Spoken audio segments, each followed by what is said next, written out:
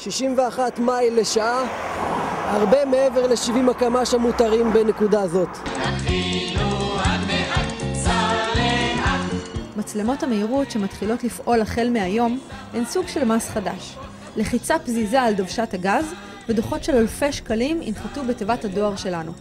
רק בתקופת הפיילוט שנערכה בחמשת החודשים האחרונים, ארבע מצלמות מהירות בכביש 4 הכניסו לקופת המדינה, תאורטית, 11 מיליוני שקלים.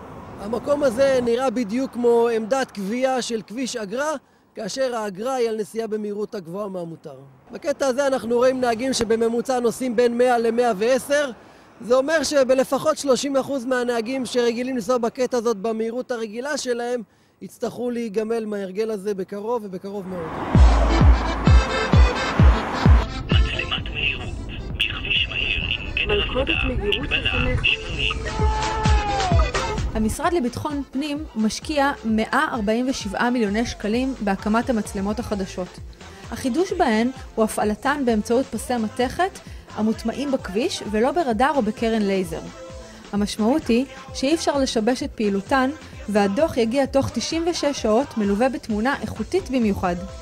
בעצם המצלמה מופעלת על ידי לולאות מגנטיות. בכל נתיב קבורים בתוך הכביש שתי לולאות מגנטיות. המצלמה או מוח המצלמה בעצם יודע מה המרחק בין הלולאות, לוקח את המרחק, מחלק בזמן בין כניסת הרכב ללולאה הראשונה ליציאת הרכב מהלולאה השנייה, ובזה בעצם מבוצע חישוב המהירות. כאשר יש לנו מספר נתיבים, אז כל נתיב מקבל את זוג הלולאות שלו, לולאת כניסה ולולאת יציאה. שאלה אחת רחוקה מלקבל מענה. מה עומד מאחורי היוזמה הזאת? האם זו הדאגה לשלומם של הנהגים, או שם הרצון להשאיר את קופת המדינה?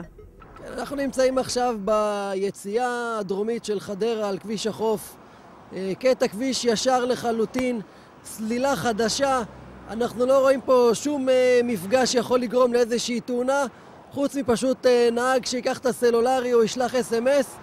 תאונה לא אמורה לקרות בקטע כביש כזה, לכן בנקודה הזאת ממש לא ברור לנו המיקום של המצלמה. רמז לגבי הכוונות של המשרד לביטחון פנים, אנחנו יכולים לקבל על ידי השוואה בין מפת קטעי הכביש האדומים בארץ, כלומר כבישים מרובי תאונות, למפת פריסת מצלמות המהירות. ההשוואה מעלה שאין חפיפה מלאה בין המפות. כך למשל, המצלמות בכבישים בהם ביקרנו היום, 4, 2 ו-44, לא נמצאות בקטעי כביש אדומים. עברנו היום במספר מקומות, המקום הזה אולי הוא המקום המוביל בחוסר ההסבר ההגיוני למה מצלמת מהירות נמצאת בקטע הזה.